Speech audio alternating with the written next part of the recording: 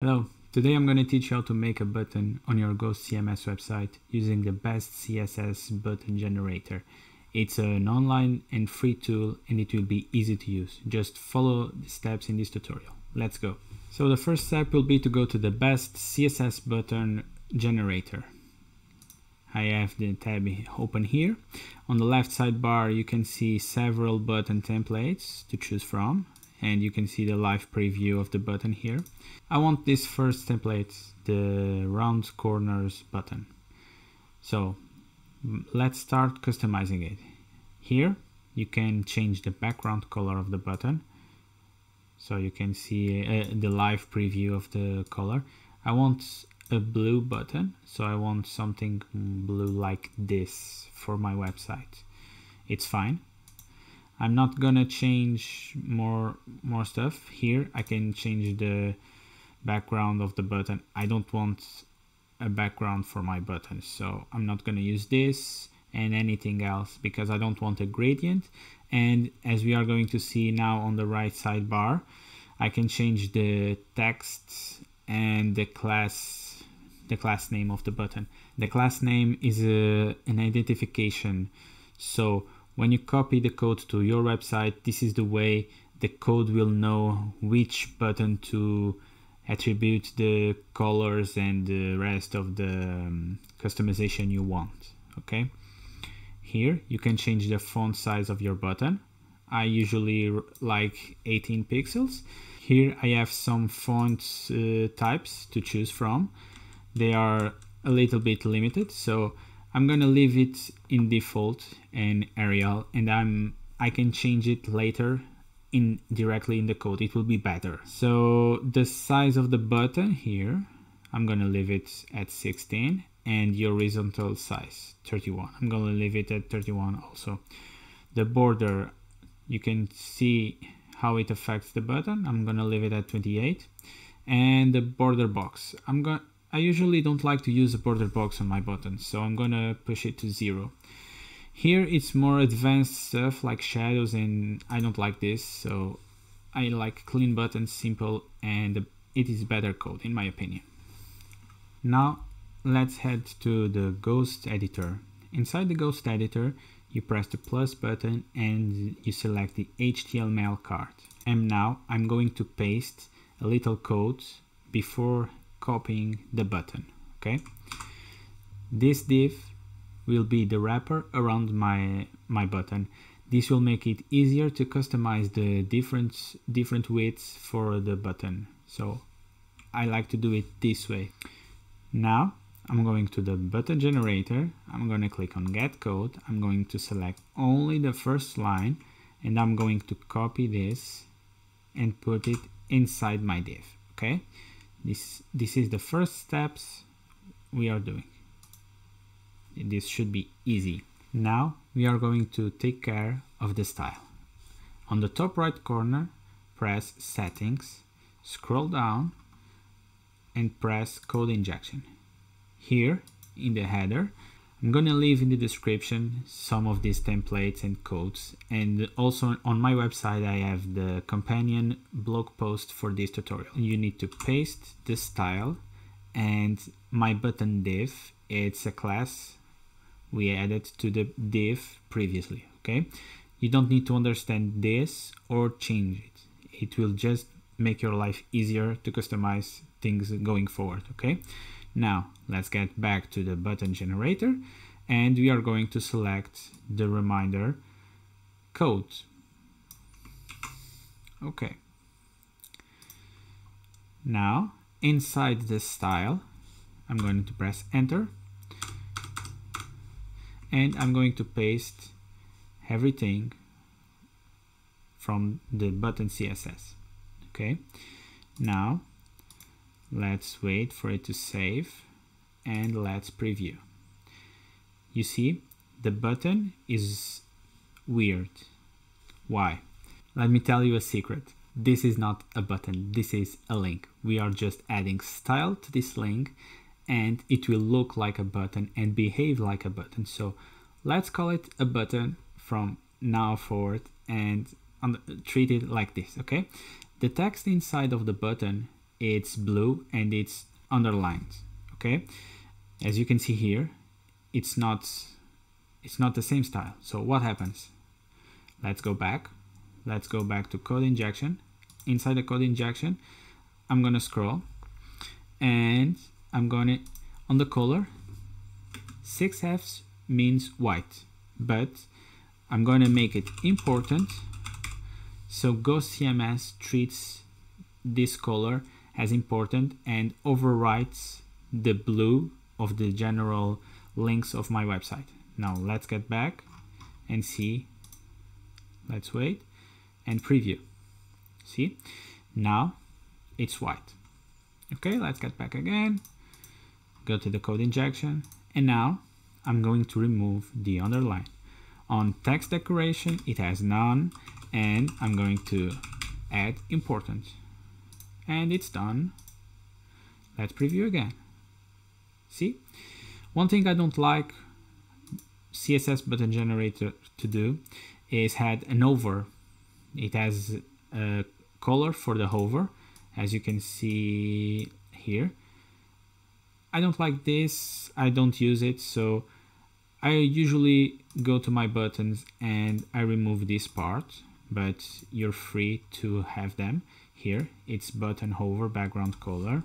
Okay, I remove this and usually I also remove that. I don't need it. As you might have noticed, my button is not 100% full width. So if you want to make it 100%, go to the code injection, scroll down to my button and add width 100%. Let's wait.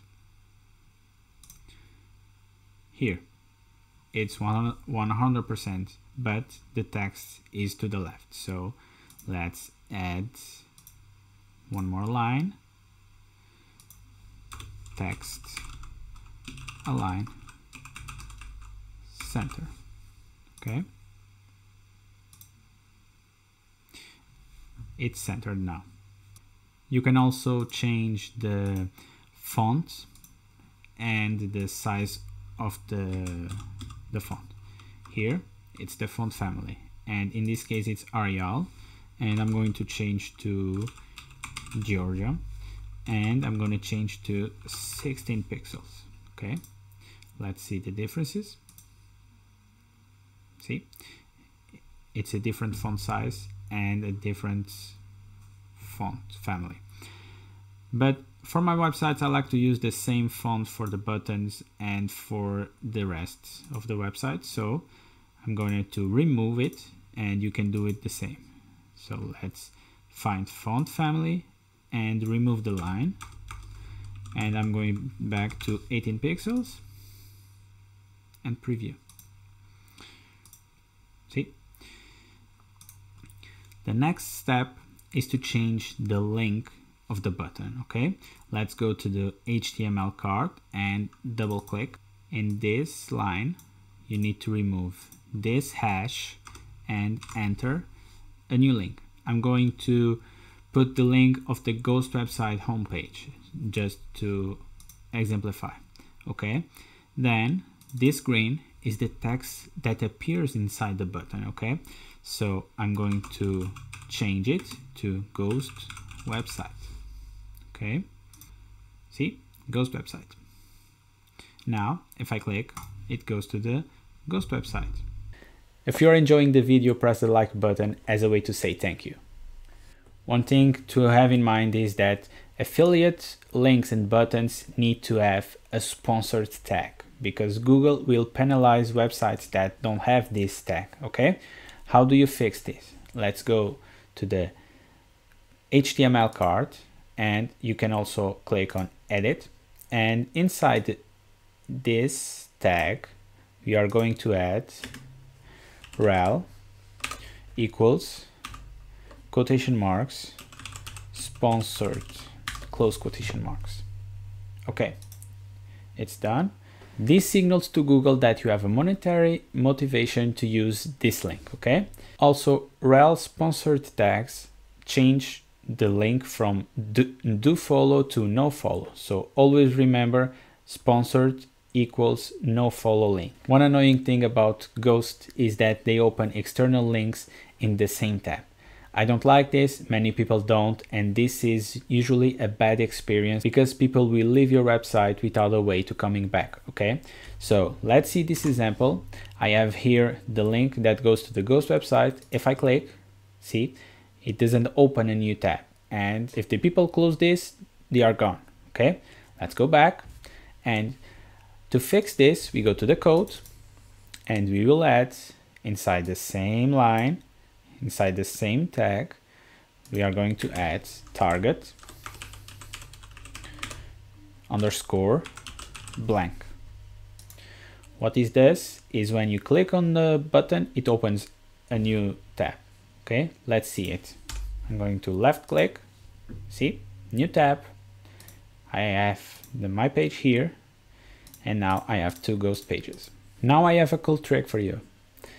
You can save your most used buttons as a snippet. What this does is that it saves what you have in the code and makes it easy to use next time when you press the plus to find the card, okay? To save as a snippet, you need to press the HTML card once and then press the create snippet. Then you give a name and let's give a name ghost button. I'm, I'm going to save it. I'm going to create